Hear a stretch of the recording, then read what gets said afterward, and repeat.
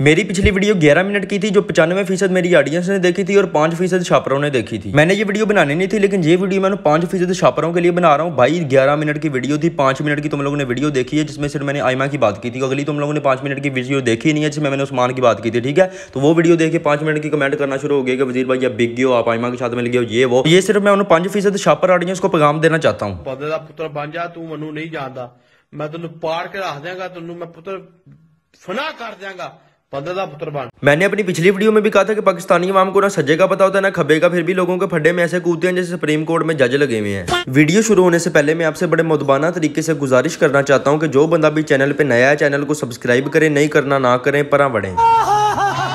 ग्यारह मिनट की वीडियो मैंने अपलोड की थी, जिसमें मैंने ये सारा मामला क्लियर करने की कोशिश की थी, ठीक है? पहली वीडियो, पहली पाँच मिनट की वीडियो में मैंने आयमा के सारे पॉइंट्स क्लियर किए थे और अगली पाँच मिनट की वीडियो में मैंने उस्मान के सारे पॉइंट्स क्लियर किए थे। लेकिन बंदों ने क्या किया, हमारे पाकिस्तानी माम की तो पता नहीं वैली भी फिर रही होती है, कोई बिज़नेस भी नहीं है, नौकरी तक नहीं मिलती इनको, लेकिन फिर भी इनके पास टाइम नहीं होता, ठीक है?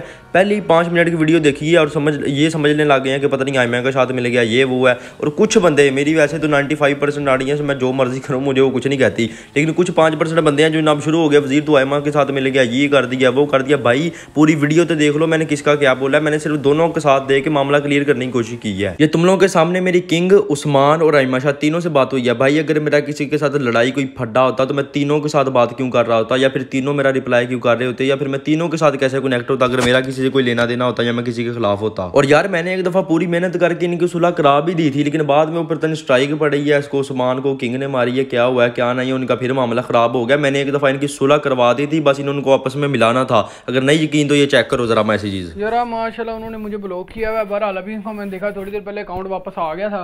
उनसे पता कर उन्होंने प्राइवेट किया कि दोबारा उड़ गया। चलो, शुक्र है यार, उसका अकाउंट नहीं उठा अभी मैंने देखा, उसने प्राइवेट किया। उसको कहोगे ना, सुबह मैं वीडियो लगाऊँगा अपने टिकटॉक पे। उससे पहले अनप्राइवेट ना करे, वो मैं सुबह लोगों को ना समझा दूँगा, क्योंकि सुबह से मैंने टिकटॉक पे पोस्टिंग करनी है। यकीन करो, वज़ीर भाई, मुझे कोई टेंशन नहीं है। मैं अपने टिकटॉक पे ग्रो कर दूँगा। लेकिन मुझे इसकी बड़ी टेंशन थी यार, इसका औखा हो जाना था, इसलिए ना मुझे बड़ी खुशी है यार इसका अकाउंट वापस आया। मैं चाहता हूँ दोबारा ग्रो करे। बस जो हुआ है ना, हो गया, छोड़ दूँ। मैं अभी सुबह वीडियो लगा दूँगा, फिर भी कि यार रिपोर्टिंग वगैरह सीन ना करो, वो मैं देखता हूँ।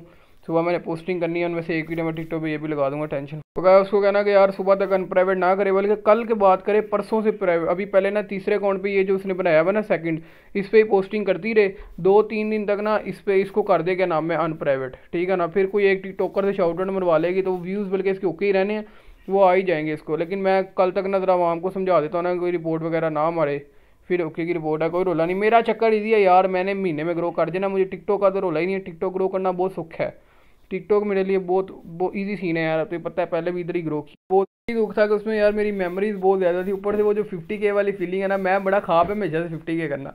हर बड़ी फिफ्टी के तो पहले बैन हो जाना ਹਾਂ ਸੁਣ ਲਿਆ ਜੇ ਛਾਪਰੋ ਆ ਜਿਹੜੇ 10 12 ਬੈਠੇ ਸੀ ਅੰਨੀ ਦਿਓ ਬੱਚੇ ਉਹ ਸੁਣ ਲਿਆ ਜੇ ਇਹ ਲਾਈਨਾਂ ਤੁਹਾਡੇ ਸਾਰਿਆਂ ਵਾਸਤੇ ਇਹ ਸਾਰੇ ਭੈਣ ਚੋਦਾਂ ਦੇ ਆਈ ਜੀ ਨੇ और फिर ये सब के बाद किंग ने इसके चैनल पे स्ट्राइक मारी और ये मामला फिर से स्टार्ट हो गया और उस्मान एक दफ़ा सारा कुछ क्लियर कर दिया था आयमा की तरफ से भी हो गया था और इन दोनों की सुलह होने वाली थी मैं इनको मिलाने वाला था लेकिन उधर से स्ट्राइक पड़ गई इसका मीटर फिर आई हो गया और ये जनाब फिर मुझे इसने ये मैसेज किए थे यार मैंने इसकी कोई वीडियो इस्तेमाल की ही नहीं है टिकटॉक से वीडियो उठा के लगाई उस पर कौन सी स्ट्राइक बजती है यार मुझे एक बात बता तू मैंने उसकी टिकटॉक से वीडियो उठा के लगाई है गेम प्ले मेरा अपना है उसकी कोई क्लिप है ही नहीं।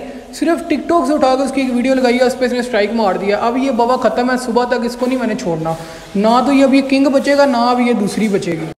मेरा चैनल भी गया ना तो कोई चक्कर नहीं है लेकिन इसको नहीं मैंने बख्शा लगाना चाहिए अब जो मेरा अब चाहे सब कुछ जाए। और इसी सब मामले में हमारे किंग भाई के भी कुछ लफाज देख लेते हैं उनका क्या कहना है? यार जानी मेरी तो आदत नहीं है किसी से हमें फड्डा लेने की। अलहमदिल्ला से जितने टाइम से है ना किसी के साथ कंट्रोवर्सी किया ना कुछ। ये फजूल किस्म का बंदा आके यार, चलो एक लड़के के साथ आप फड्डा करते हो, ठीक है, समझ में भी आता है। अब एक लड़की को, वो लड़की यार जिसको अल्लाह की कसम जानी, मैं उस बंदी के साथ हूँ, उस बच्ची को सही से बोलना तक नहीं आता यार, वल्ला, वो इतनी इनोसेंट सी बंदी है। उस बेचारी का मैं क्या ही बताऊँ, बहुत बहुत इनोसेंट है, उसकी आवाज़ से भी लगता है, और लोग कहते हैं यार ये ड्रामेबाजियाँ करती है, नहीं, कुछ भी नहीं है, ऐसा आपने भी उससे बात की होगी, आपको अंदाज़ा हो गया होगा। बट ये पता नहीं इतना वो जाहिल बंदा है ना, इसको कौन समझाए? इस बेचारी ने भी जाके उसको अपने तरीके से समझाया। मैंने कहा, शादी आपने नहीं बात करनी थी, ये उल्टा और बात को बढ़ाएगा। उस पागल ने जाके बात कर ली और ये बंदा जो, है ना, चौड़ में आ गया कि भाई, ये तो बड़ी टिकटॉकर है, इसने आगे मुझसे बात की है, सॉरी कह रही है। ये कह रही है वो कह रही है इसने और ज़्यादा वो कर दिया उसको ज़्यादा मतलब कि उसकी इज़्ज़त को ख़राब कर दिया। मैंने अपनी तरफ़ से हर चीज़ क्लियर कर दिया ये आवाम इतनी वेली है कि ये फड्डों में पड़े और अपना टाइम ज़ाया करे। ब्रो मेरे पास इतना टाइम नहीं होता। टरी टटल इज़ द फ्यूचर बेबी तेरे इतने झूठ मारूँगा। तुम लोग आयमा से बात करोगे तो तुम लोगों को लगेगा आयमा ठीक है। तुम लोग उस्मान से बात करोगे तो तुम लोग को लगेगा उस्मान ठीक है। तुम लोग किंग से बात करोगे तो तुम लोग को लगेगा किंग ठीक है। इसलिए मैंने फैसला किया कि भाई मैंने किसी से भी बात नहीं करनी है वो मैंने इस फड्डे में पढ़ना ही नहीं है। भाई मैं अपने काम और तुम लोग अपने काम ठीक है? और दूसरी बात ये कि यार यकीन मान जो मैंने उस्मान से बात की है। काफ़ी देर इसकी मेरी बात होती रही है। कॉल वगैरह पे वैसे भी रुई भी मुझे पुराना जानता है। मुझे तो बहुत ग्रेट बंदा लगा है और अच्छा बंदा है, ठीक है? आयमा से बात की है, वो भी मुझे अच्छी लगी है। किंग से बात की है, वो भी मुझे अच्छा लगा है। लेकिन मुझे नहीं समझ आ रही, पता नहीं किन फटे गलत फहमियों में पड़ गया किन चक्रों में पड़ गई, आपस में लड़ने लगे हुए और ये अवाम बाबा जी छोड़ी बातें तो कसम से छोड़ी बातें तो मैं कहता हूँ, ये अवाम ये दो दिन चस्के लेती है, फिर मैं भूल जाती हूँ, बाद में क्या हुआ है, क्या नहीं, ठीक है? हाँ मेरी पिछली वीडियो में मेरे से एक छोटी सी गलती हुई थी, जो मैंने कहा था कि उस्मान को गलत फहमी हुई है मिसअंडरस्टैंडिंग हुई है, उसे कोई मिसअंडरस्टैंडिंग नहीं हुई थी, वो भी अपनी जगह ठीक था। मैंने पूरी कोशिश की है कि यार किसी तरह इनकी सुलह करवा दूँ, लेकिन जो ये स्ट्राइक वाला काम है ना, ये बहुत खराब हुआ है ना तो सुलह तो एक किस्म की हो चुकी थी। मुझे जिन चीज़ों का अफसोस हुआ है ना, वो तो पहली चीज़ तो यार ये कि यार आईमा को इस तरह गालियाँ नहीं निकालनी चाहिए, ये वाम यकीन में जो इतनी जहाल है ना लड़की यार, जो भी अब कातिल है, उसे माँ बहन की इस तरह जा गंदी गंदी गालियाँ निकालना, ये भाई कहीं का हल नहीं है, ना उसकी सजा है, ठीक है? इस तरह से गालियाँ नहीं निकालनी चाहिए, उसका मुझे दिल से अफसोस हुआ है। जो फेत उस्मान का तुम लोगों ने जाके क्या लेते हैं, अकाउंट बैन करवाए जिन्होंने रिपोर्टें मारी हैं, उसका भी मुझे बहुत अफसोस हुआ है और ऊपर से जो स्ट्राइक वाला काम हो गया तो बिल्कुल ही गंदा है, ठीक है? इस अफसोस पे मैं वैसे गाना गा सकता हूँ, मैं कली हो गई हाँ मैं डली हो गई हाँ इस बाबी जालम दुनिया के कली हो गई हाँ कोई साड़ी चीज़ नहीं टूटी, टुटिया टड़ी टटल दिल माइया मेरा काम था अपने पॉइंट्स क्लियर करना, ठीक है? मेरी तरफ़ से जो भी कुछ हुआ था, वो मैंने सारा कुछ क्लियर कर दिया, ठीक है? मेरा अब इस टॉपिक पर कोई वीडियो नहीं आएगी, मैंने भाई अपने कंटेंट पर फोकस करना है, ठीक है? मेरी स्ट्रीम्स वगैरह होती हैं रोस्टिंग वगैरह, मैंने अब उस पर फोकस करना है अपना सारा। ठीक है बाबा जी, ओका फिर।